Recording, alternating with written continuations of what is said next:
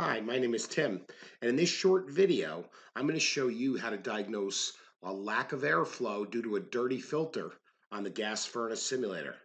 Now to begin with, let's turn the thermostat to call for heat by clicking on the selector switch. This will also turn up the room temperature setting.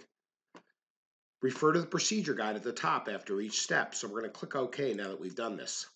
Next, we need to take a brief inventory of which loads are operating. So to begin with, we're going to click on the cover of the furnace to remove it.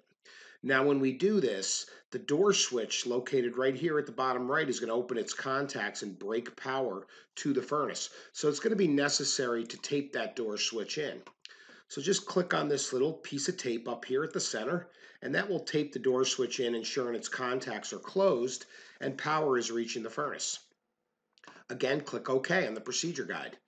Next, let's see what's running. While the inducer is running, as evidenced by these spinning blue arrows, so we can click yes up here. Our next step is to reboot the system. Now, this is due to the fact that if the furnace trips on a safety switch three times, or it fails to prove flame three times, it will typically lock out and also populate an error code on the integrated furnace control. So we're going to restart. We're going to assume the unit is in lockout and we're going to reboot it and click OK. Now we need to be ready to look at what comes on. And we can see our igniter's glowing. So we can click yes on the procedure guide. And we see that our burners fire. So again, let's click yes. Next, do the burners continuously run? Do they actually stay on? Well, let's watch for a little bit and see what happens. We can see the burners are lit and they seem to run for longer than 10 seconds, but then they shut off. Now, if they were running for less than 10 seconds, that would most likely indicate a flame sensing problem. But in this case, they're staying on for longer than 10 seconds, then they're going off, and then they seem to be coming back on again.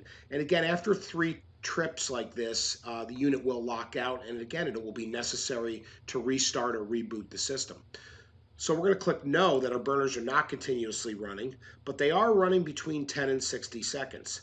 Now this most likely means we have a safety switch that's opening, either a pressure switch or a high limit. Uh, the most obvious thing here is to check the filter for cleanliness at this point. Just click on the filter and remove it. And we can see that the filter is pretty dirty here. So that's most likely our problem. The dirty filter is resulting in a lack of airflow across the heat exchanger, causing it to overheat, and the high limit is more than likely tripping off because of this. So no, the filter's not clean, and we're actually going to replace it. So we're going to click on the filter and click replace, and this solves the problem. Uh, but before you leave the job, don't forget to observe one full cycle of operation to make sure everything is functioning properly. And at that point, go up to the residence and just verify that heat is being received through the floor registers. And we can see here from the graphic that it is. Now, if you need to review any of the steps that we took in this procedure, simply click this top left icon and you'll be able to review each of the steps in the process that we took to find the dirty filter. Good luck on all your future service calls and I'll see you back here soon.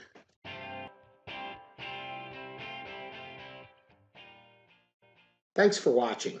You can try our on-demand VR-enabled learning for HVAC by signing up for a free trial. Go to interplaylearning.com to get started.